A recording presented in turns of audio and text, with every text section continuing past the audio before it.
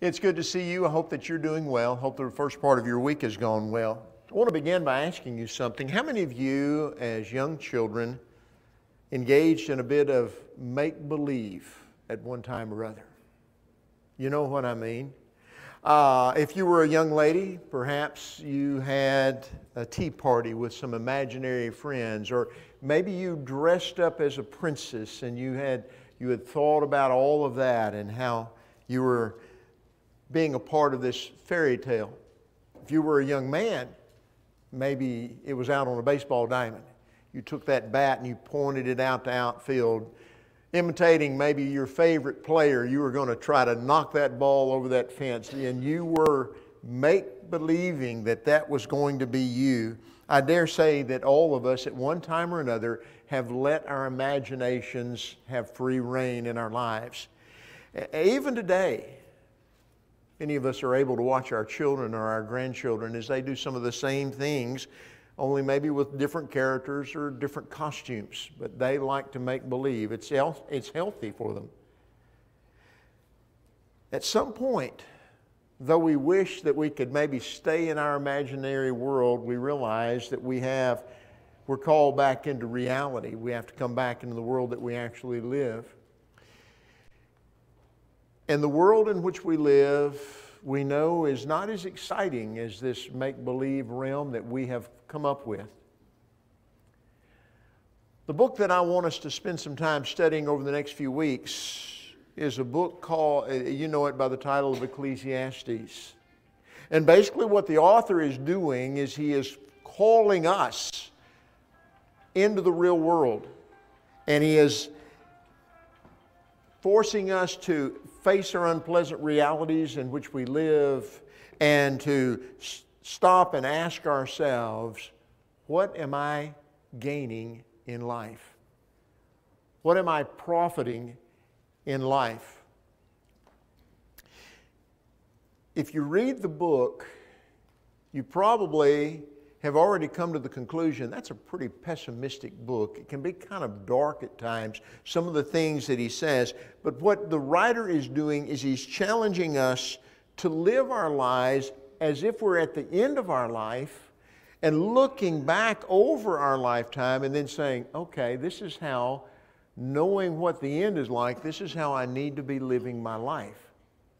And from that vantage point, we can see how our lives should be lived. One individual that writes on this book, writes about it, call, has titled his book Living Life Backward. Looking at your life if you, as if you were at the very end of it and you can look back over your life and suddenly say, Whoa, I should have done this and I should have done that, and that's not quite as important as I thought it was going to be, and that doesn't matter at all when it comes to where I'm going with my life. So, what I want to do is encourage you tonight to spend some time with me over the next few weeks as we look at this book and, and try to discern some of the things that the author has given us. If you open your Bible and you look at it, there's a title in your Bible. There's a, there are two titles that often are given to it. One is the Hebrew. The Hebrew word in the original language is Koheleth. It is a name that means, as you can see up here, preacher or speaker in the assembly. The other name that we're much more familiar with comes from the Greek translation of the Old Testament scriptures, and it is the term Ecclesiastes. That's the way we've always named it. And it is a word that comes out of the Greek term ecclesia, from which we get church, or those who are called out, the called out assembly.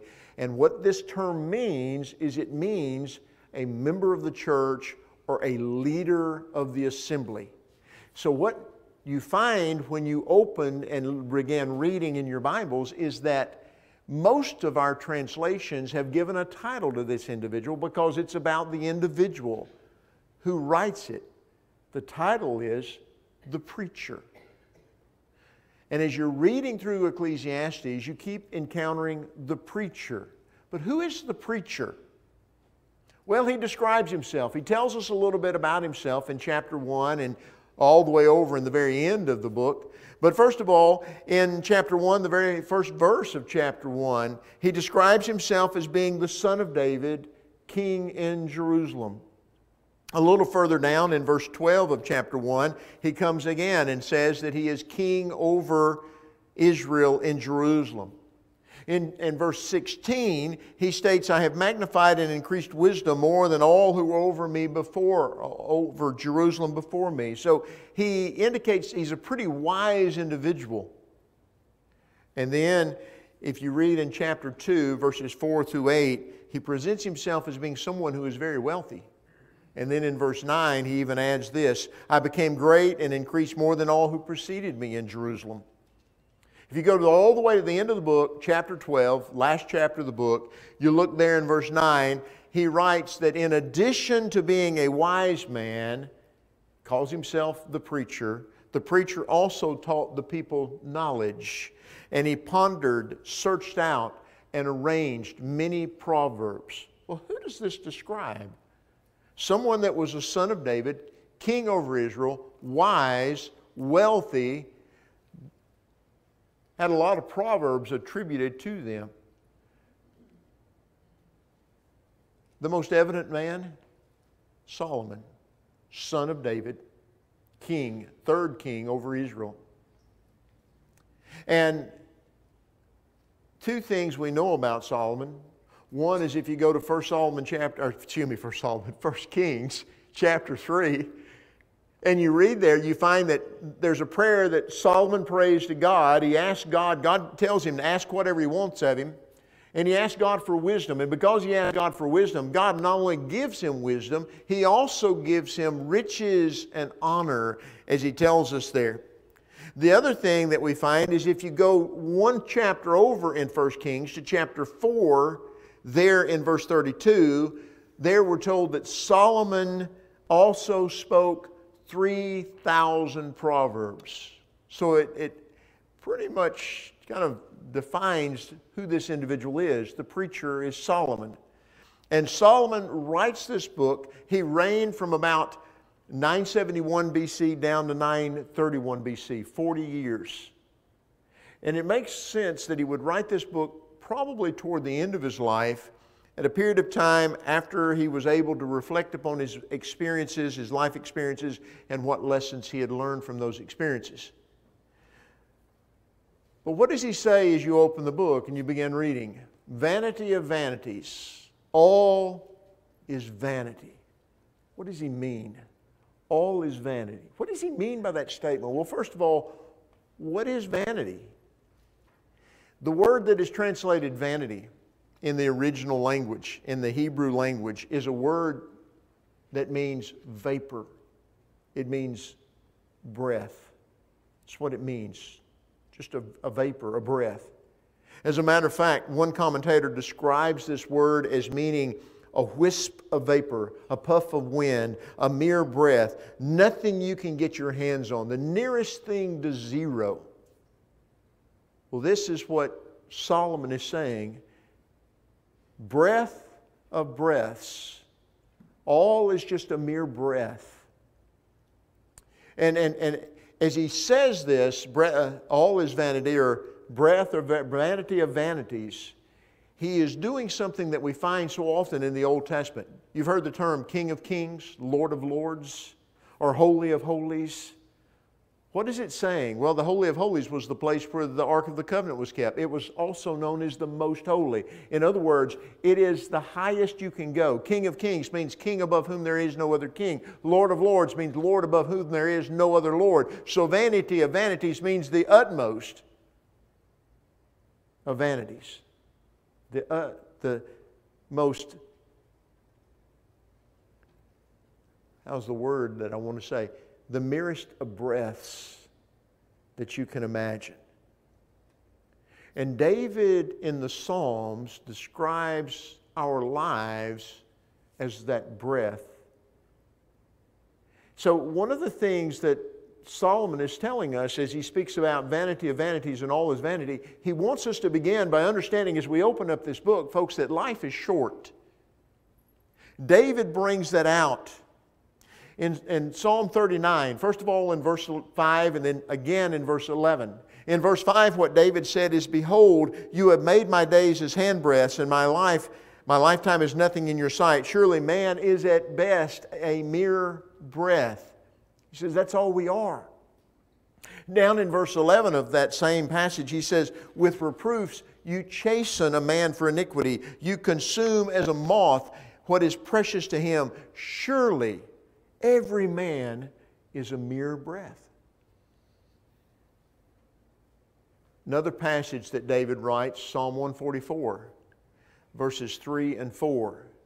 In that psalm, David again compares our lives to a mere breath and our days to a passing shadow.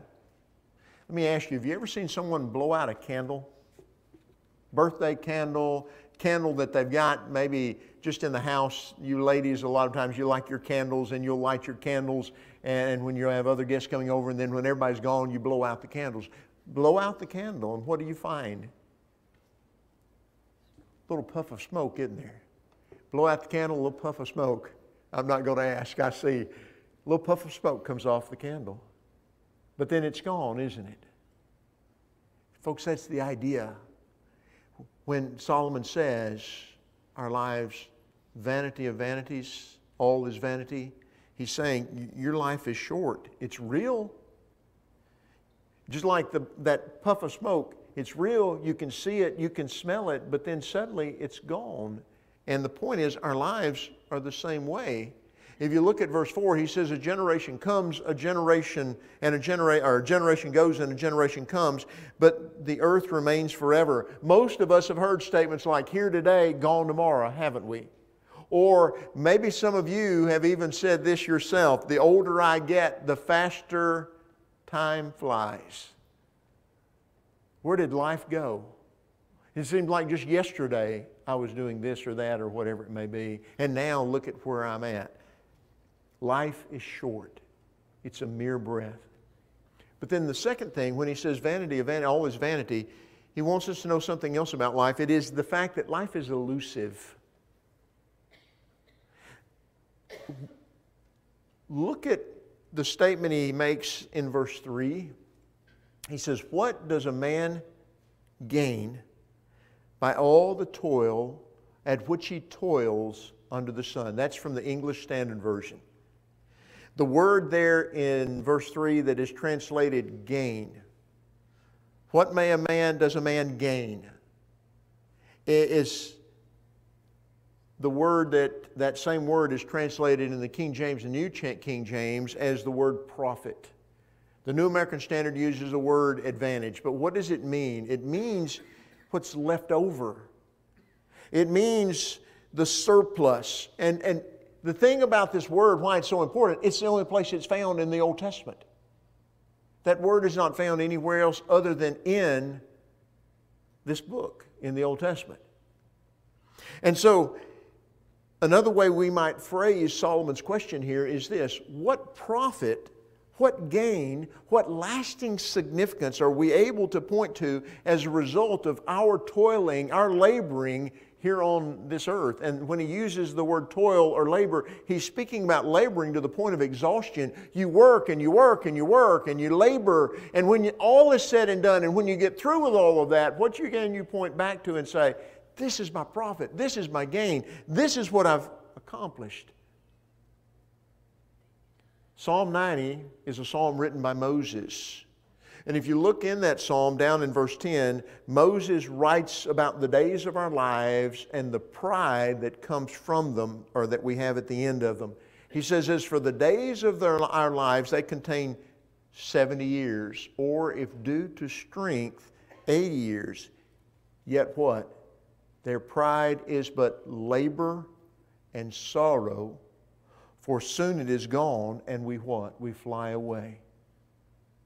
So he's saying, what is our gain from all of our toil, from all of our labor? Solomon is asking, and his point is that we can pour our whole lives into something, and that something may be successful or that something may fail, but the truth is we have little control over the outcome of so much in our lives.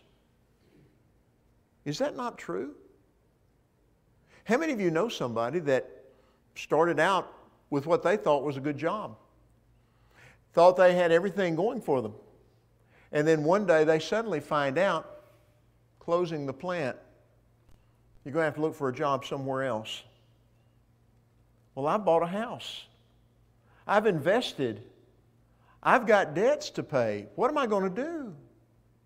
Could they control that? No. Had no control over that. Many of you know that happened here in this community many years ago. What about the person that just as healthy as a horse? And one day they walk into the doctor, and the doctor's doing a routine physical, and he says, I need to talk to you. You've got cancer. We need to address it immediately. Really? No. I've always ate right. I've always tried to take care of myself. I've always made sure I got plenty of exercise. I've got cancer? Yeah. Can you control that? No. You know, how many of us can tell uh, someone else exactly where we're going to be five years from now, 10 years from now? I dare say that if you ask a number of people from this community a year and a half ago, where are you going to be in five years? Well, I'm going to be living right here in this house, as far as I know. And that house isn't there anymore. They had no control over the outcome. And this is what Solomon is saying life is elusive as it's lived under the sun. That term is important lived under the sun. As we live it here, we don't have control over a lot of things that we wished we did. David, another psalm by David, Psalm 103, there in verses 15 and 16, he writes, As for a man, his days are like grass, as a flower of the field, so he flourishes. When the wind has passed over, it is no more, and his place, its place acknowledges it no longer. We think we've got the tiger by the tail, so to speak. We think we've got everything taken care of. We think we've got all of our plans made, but then something happens that we have no control over. Remember Joseph? Age of 17, sold by his own brothers into slavery. Do you think he ever thought they would have done that to him? And then he spends 13 years as a slave and a prisoner in Egypt. Did he have control over that? No. He did not. So Solomon, and, and as I said, it, he can be kind of pessimistic, or so it seems. Another thing he tells us is something else about life when he speaks about all being vanity. It is that life is repetitive. And he uses here, notice these, this passage, first of all, here in, as we pick up with verse 5. He says, Also, the sun rises and the sun sets, and hastening to its place, it rises there again. Blowing toward the south, turning toward the north, the wind continues swirling along on its circular course. The wind returns. All the rivers flow into the sea, yet the sea is not full. To the place where the rivers flow, there they flow again. In these verses, what Solomon does is he focuses on life as it relates to our natural world by utilizing three aspects of nature sun, wind, and water. Notice what he says about the sun. The sun rises in the east. Now, we understand, don't we? Actually, the sun doesn't rise and set, it's the, the, the, the earth turning on its axis. But it appears to rise in the east and set in the west. And then what happens? It races, as he says, to do it all over again. So what's going to happen? Tomorrow morning, Lord, eh, provided the Lord doesn't turn, return, the sun's going to rise. That's the east, by the way, and it's going to set over here in the west. And what's going to happen the next day? Sun's going to rise in the east, it's going to set in the west. And the next day, and the next, and on and on it goes. And so, what is he saying? We've all seen it. Same activity over and over again. It's repetitive. It's, and this cycle, Solomon is saying, is, it's, it's, it's vanity. It's just same thing over and over again. David looked at the rising and setting of the sun a little bit different if you look at Psalm 19. David spoke about God preparing a tent in the heavens for the sun. And then, there in verse 5, he speaks of the sun as a bridegroom coming out of his chamber and then says it rejoices as a strong man to run its course. He, he, he attributes that to God, but Solomon is talking about the repetitive nature of what you see over and over and over again. The other thing is the wind. And what does he say about the wind? The wind blows to the south and turns and blows to the north. And we've seen that on many a weather map, haven't we, as we watch to see what the weather's going to hold. And they'll pull up a map of, our, of the U.S. and you'll see these, these swirls. Well, that's, that's the wind blowing, that's the weather patterns as they're coming across. And he says, This is the way it works. And it does it over and over again.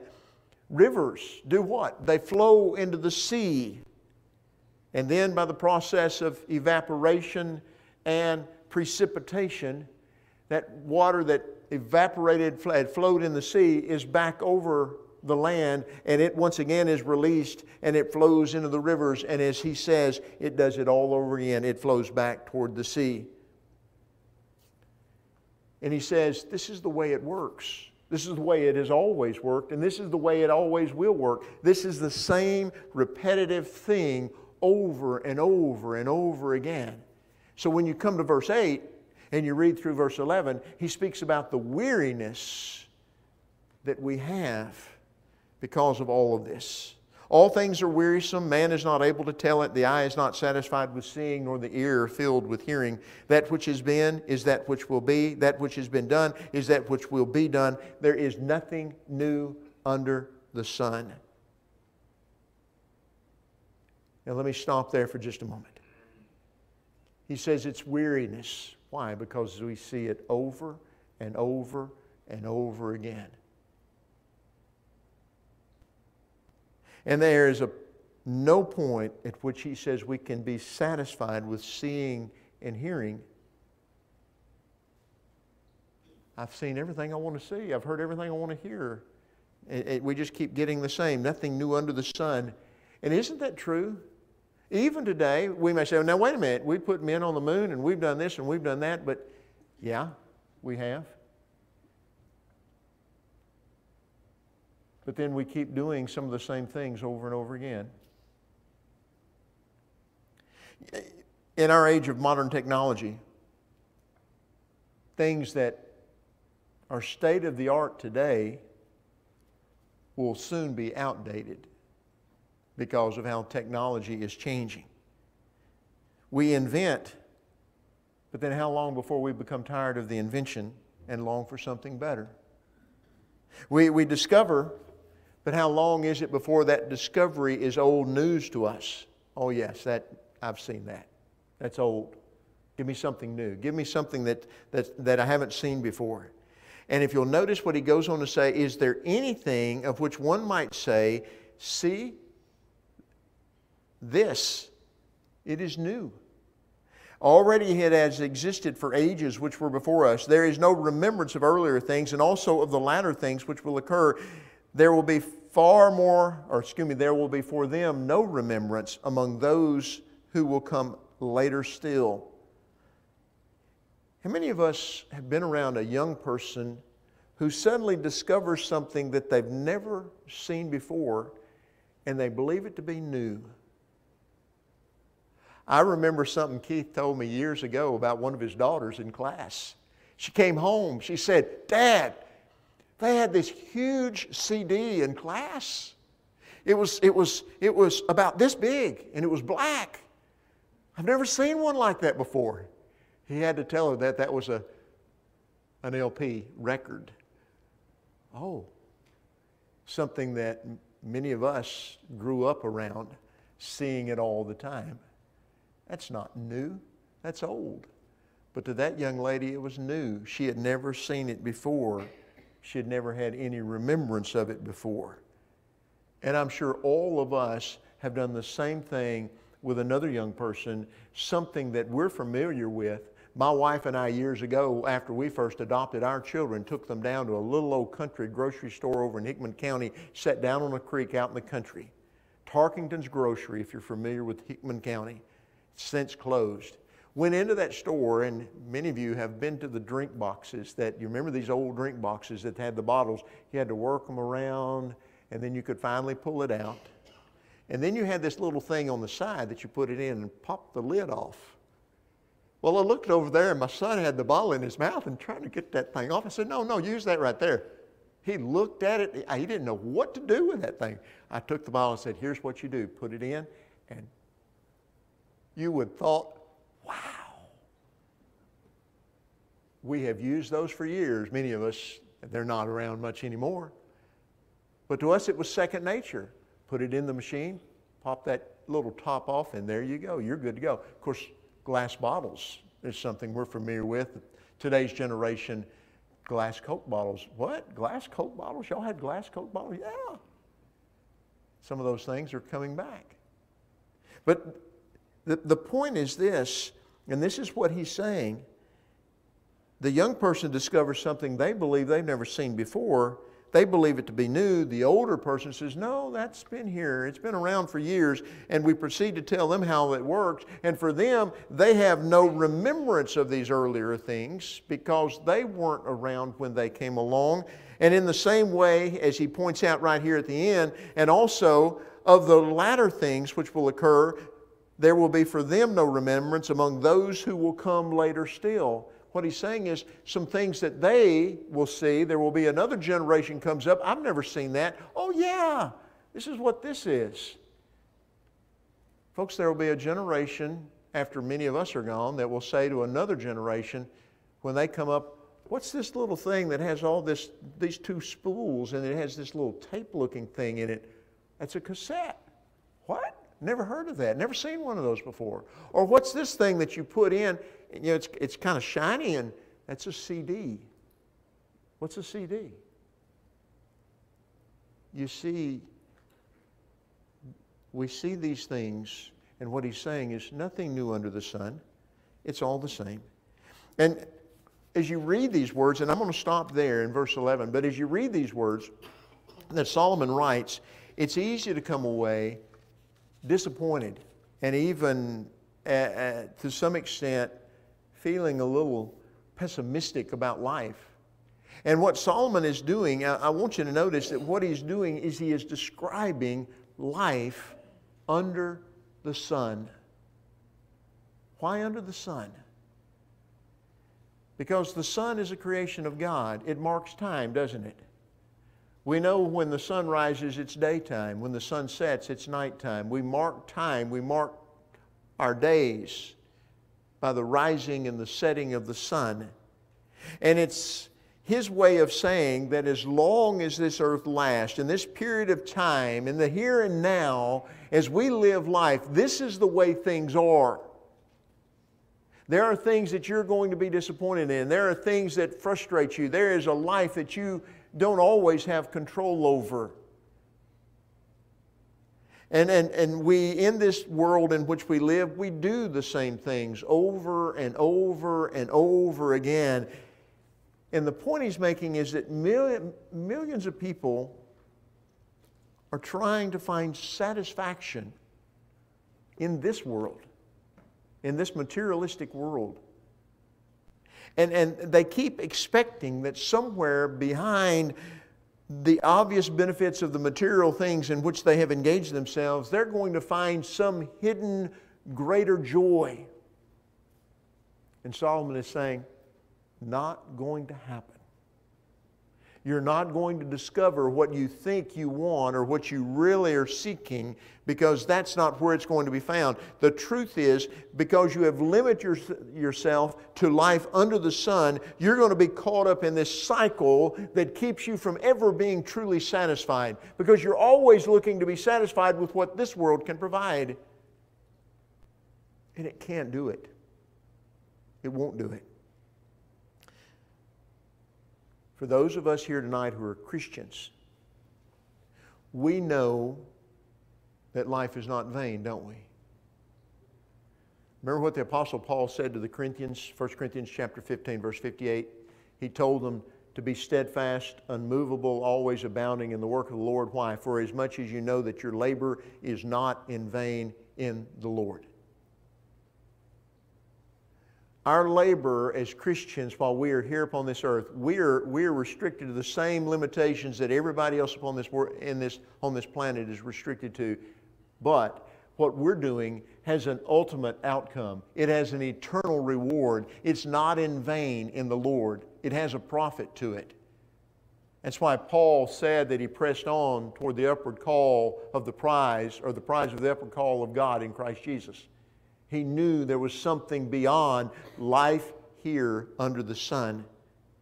And if you look in Mark's Gospel, chapter 8, beginning in verse 34, Mark tells us about a time when Jesus summoned the crowd along with his disciples, and he said something to them. He said, If anyone wishes to come after me, he must deny himself, take up his cross, and follow me.